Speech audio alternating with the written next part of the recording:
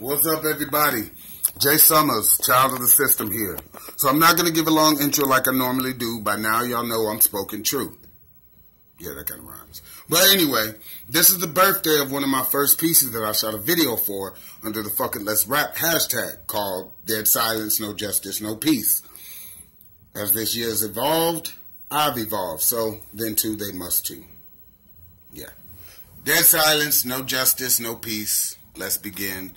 People, please wake up. I'm tired of seeing lost souls kill each other for nothing but material things. All.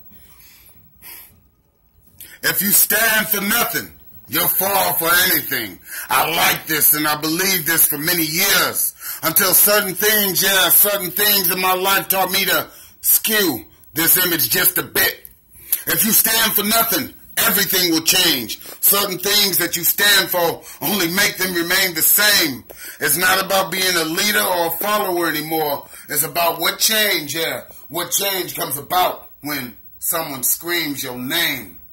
Trayvon Martin, Michael Brown, Eric Garner, Tamir Rice, Rekia Boyd, Aiyana Jones, John Crawford, Freddie Gray, Sandra Bland, Aaron Pope, Emmett Till.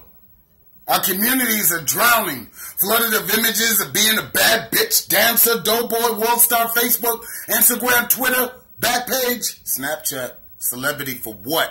It's like no one sees the damage they do to the youth growing up. All of the images of needless things to buy, senseless violence, relationships with no fucking sense of pride, and people that have been condemned to die really seems to be the new form of enslavement.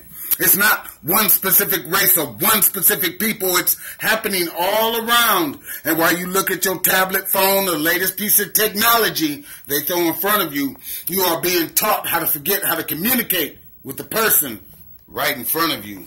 We're being raped intellectually, and we don't even care no more.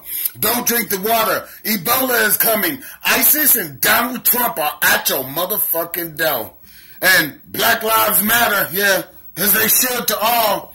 But we've done more damage to our own people, our own unity, our own community, our own history, our own souls than any police officer's call.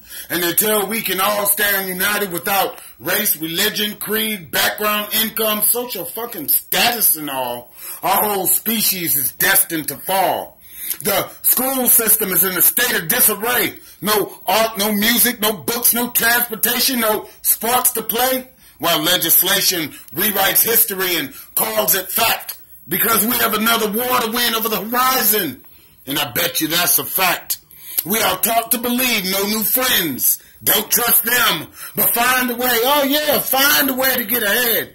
Make a difference. Just don't do too much. Don't help your community, your people, your own brother's soul. Or go to the store to buy yourself some candy instead. Or you'll find yourself left for dead for four hours with 47 bullets or choked inside your jail cell instead. No justice, no peace, Hands up, don't shoot, I can't breathe. So it's justice or else. I guess I just learned how to build for myself. Thank you. Hope you enjoy. Uh, still got venomous snakes to do, so that one's on the way too. Much love. I'm out.